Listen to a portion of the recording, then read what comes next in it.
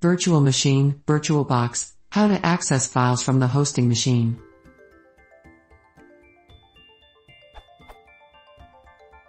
I have a PC with Windows 7 Ultimate, A, running on it. From within that OS I have VirtualBox running another Windows 7 instance, B. Is there any way for the Windows 7, B, to access files from Windows 7, A? Ideally I'd like to be able to access them without having to copy them into the VM instance running because I don't have a big enough hard drive to do so.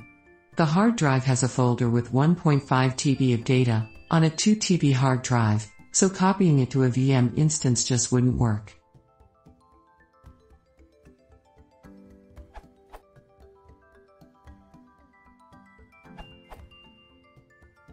There are several ways to accomplish this you can use VBox's own shared folders feature.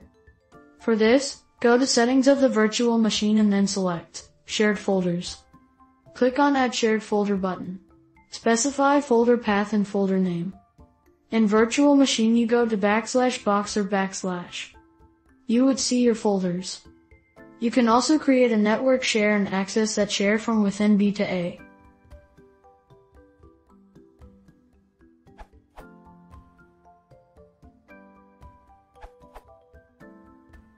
I assume you have your VM up and running. Follow these steps.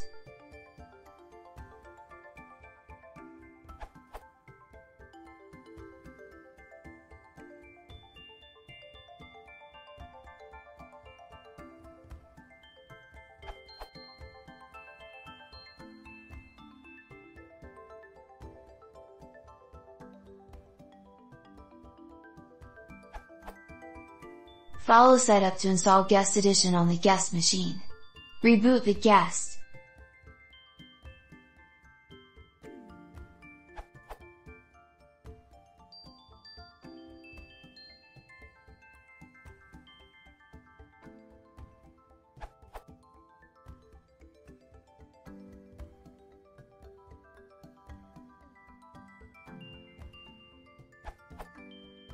Your shared folder will appear under my computer in the guest machine.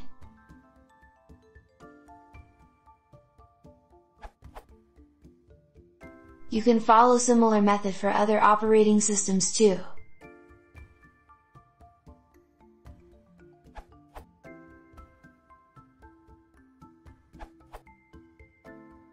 Another option is just to copy files. Select virtual machine and go to settings, general, advanced, there you can configure shared clipboard and drag and drop support. I selected bidirectional option for both. Now you can drag drop files between host and guest, also you can copy text in host machine and paste it on guest VM, and vice versa.